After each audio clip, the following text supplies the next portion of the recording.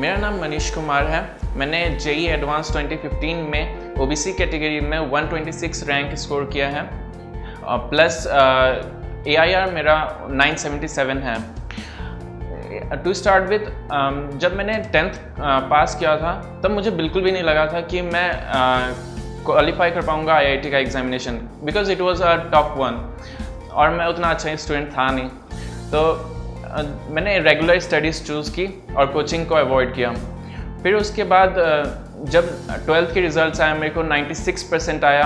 Plus मैंने एक JEE means में ट्रायल दिया तो 182 मार्क्स आए, जो कि एक अच्छा स्कोर था। और मुझे लगा कि अगर मैं फिर से ट्राई करता हूँ तो शायद मेरा आईआईटी में क्वालिफाई हो जाऊँ।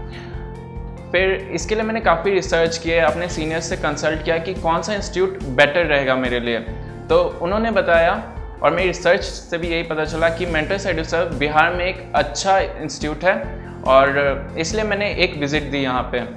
आनंद सर से मिला, जिन्होंने मुझे काफ़ी मोटिवेट किया, मुझमें कॉन्फिडेंस जगाया, फिर मैंने इस इंस्टीट्यूट को ज्वाइन किया।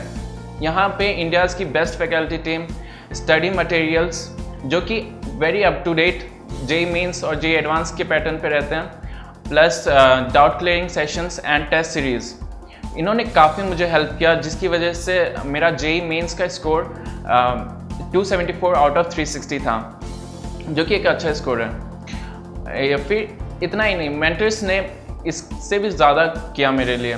उन्होंने जेई एडवांस के लिए एक एग्रेसिव टेस्ट सीरीज़ शुरू की, जिसमें फोकस किया गया कि अपने नेगेटिव मार्क्स को कैसे रिड्यूस करना है सिली मिस्टेक्स कैसे नहीं करने हैं। जो कि एक बहुत अच्छा कदम था इसके लिए। इसी वजह से मैंने जेई एडवांस 2015 में ओ बी कैटेगरी में 126 रैंक स्कोर किया और ए आई आर नाइन इसके साथ साथ आ, मेरा एच में भी रिटर्न एग्जामिनेशन 2015 में भी क्वालिफाई हो चुका हूँ।